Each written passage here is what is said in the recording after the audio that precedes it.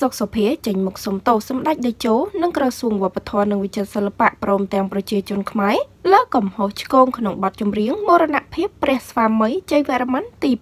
7ក្រោយពីមានការស្នើឲ្យលុបហើយក៏រីគុណជាខ្លាំងពីសំណាក់ប្រជាជនខ្មែរជាច្រើនពេលនេះមេសុកសុភាបានចេញសារសុំទោសជាសាធារណៈថា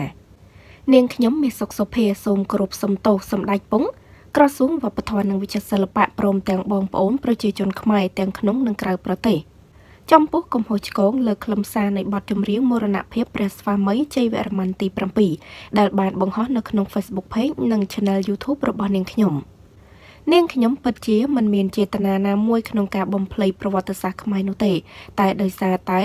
ខ្វះចន្លោះក្នុងការសិក្សាស្វែងយល់ឲ្យបានស៊ីជម្រៅពីប្រវត្តិសាស្ត្រខ្មែរមុននឹងផលិតបទនេះឡើងទៅធ្វើឲ្យមានកំហុសឆ្គងកើតមានឡើងដោយអចេតនានាងខ្ញុំនិងក្រុមការងារសង្ឃឹមថាសម្ដេចពងក្រសួងពាក់ព័ន្ធនានាព្រមទាំងបងប្អូនជនរួមជាតិមេត្តាយោគយល់និងអធិស្ឋានដល់នាងខ្ញុំ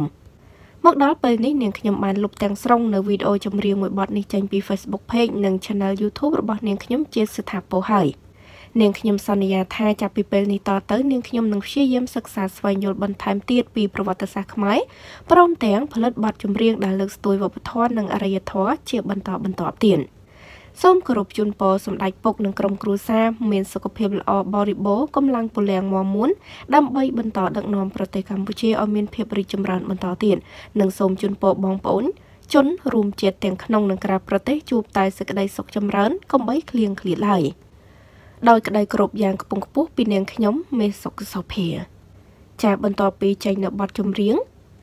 មរណភាពព្រះស្វាមីជ័យវរ្ម័នទី7ភ្លាមឃើញថាមានការរីគុណច្រើនហើយក៏មានការសំណូមពរឲ្យលុបផងដែរជាពិសេសក្រសួងវប្បធម៌និងវិចិត្រសិល្បៈនិងសម្ដេចតេជោ